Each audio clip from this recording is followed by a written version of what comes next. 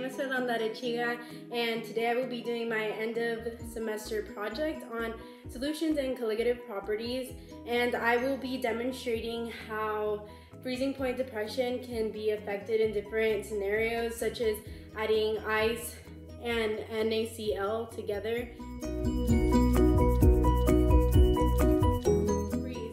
Today we will be making some ice cream. Okay, so let's get started. So to start off, we are going to make our solution.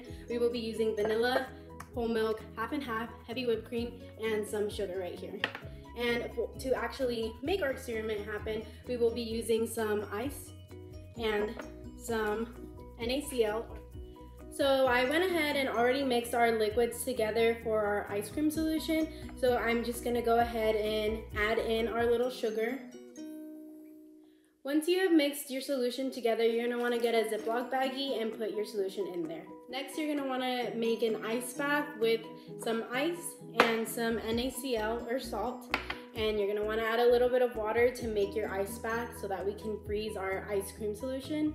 So once we have our ice and our NaCl in our little bowl mixed together, you're gonna wanna grab another Ziploc bag and put it in here. Once we have our ice and our NaCl in a baggie, we're gonna want to place our ice cream solution inside of the baggie with the ice and NaCl. And next we are going to shake it for about 10 minutes and see if any changes have occurred in those 10 minutes. Approximately 10 hours later. Okay, so now that we have shaken up our ice cream and we let it sit a little bit, we're gonna go ahead and see how our solution is looking. So I'm gonna go ahead and put it in here. And as you can see, the ice cream solution is solid and it is no longer liquid. Now, let's talk about the chemistry behind this experiment. Normally, water freezes at 0 degrees Celsius, but by adding a non-volatile solute such as NaCl to a solvent such as water, lowers the solvent's freezing point. The difference between the solvent's freezing point and the solution's freezing point is called the freezing point depression.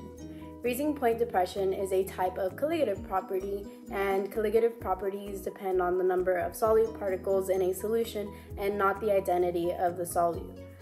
For example, NaCl reduces the freezing point of water, and as our experiment showed, we can use that to make ice cream. Now, our experiment also showed that chemistry can be fun and yummy, so why not try this at home and enjoy a delicious ice cream? Thanks and Gigamags!